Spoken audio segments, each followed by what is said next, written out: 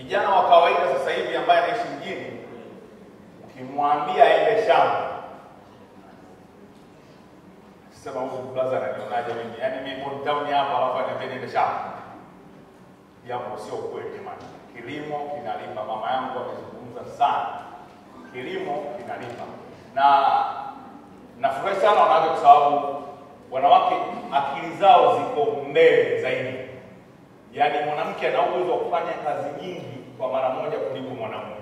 Ukizungumzia mwanamume mwanamke kwamba kama ni mfumo wa nyaya, basi nyaya zake zitakuwa zimeunga kutoka huku kwa zinakuwa nyingi. Mwanaume nyaya zake zitakuwa zimeunga kwa kwenda nyuma, na ndio maana mwanamke ana uwezo wa kufanya kazi nyingi sana kwa wakati mmoja kuliko mwanaume. Hongereni sana.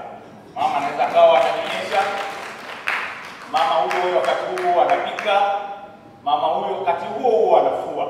Kazi zote anaweza kufanya kwa mara moja. Mwanamke anaweza akawa anachati, ana type kwenye kompyuta. Mimi nikikaa kwenye kompyuta ukiniongelesha, naweza nikaandika kile unachoniongelesha. Kazi ukianguka, simama. Wanawake wana tabia ya kukata tamaa. Mwanamke amefanya biashara leo, ameshakata tamaa, anasema hii kazi ni ngumu. Kama hujafeli, maanake hujajaribu. Kama hujafeli, maanake hujajaribu. Na kama unataka kumiliki ambacho huna, ni lazima ufanye kitu ambacho hujawahi kufanya. Wanawake wewe, kwa maana fupi kabisa, maanake ni kwamba jaribu na ushindwe na usiache kujaribu. Try and fail but never fail to try. Ni bora ujaribu ufeli kuliko ukafeli kujaribu. Kwa ni lazima ukianguka, simama. Mwanamke unaweza.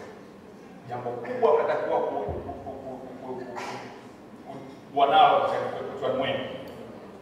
Mamangu ameongea malezi, ni lazima utenge muda wako wa familia na muda wa kazi.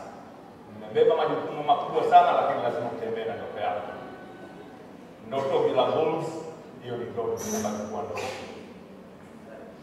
Kama hauna commitment, huwezi kuanza, na kama huna uthabiti, huwezi kumaliza.